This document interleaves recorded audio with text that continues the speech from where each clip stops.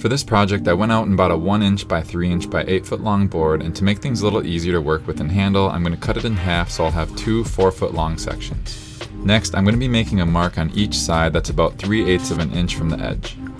Here I'll be raising my table saw blade up to about 1 8th of an inch and I'll be cutting a channel in the wood at the lines I just made in the previous step.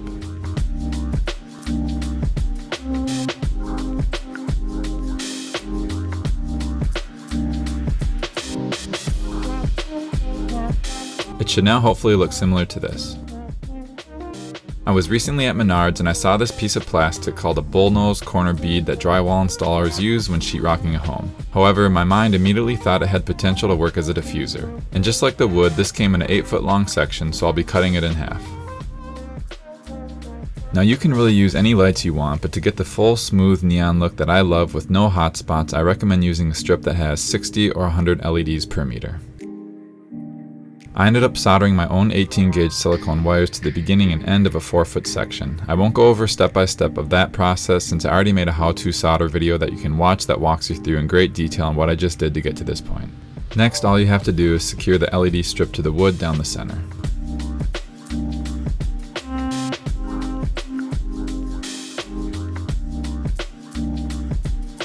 Now since the vinyl we're going to use has a barcode and some lettering on it, a lot of people in a previous video mentioned that this type of stuff can easily be removed with some acetone. Just put a little bit on a rag and everyone was right, it will come right off.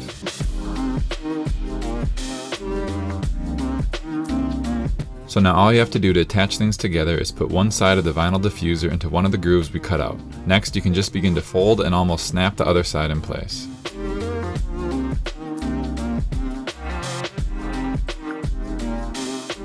I went ahead and made a total of three more identical sections so I can have a little bit more fun testing these out.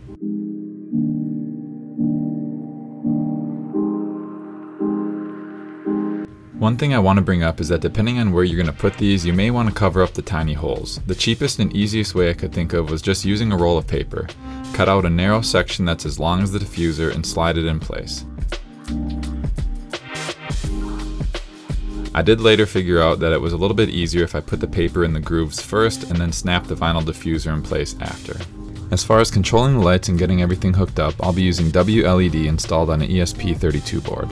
I'll leave links in the description to a couple videos I previously made going over step by step how I get everything set up and connected in case you want to do it the same way.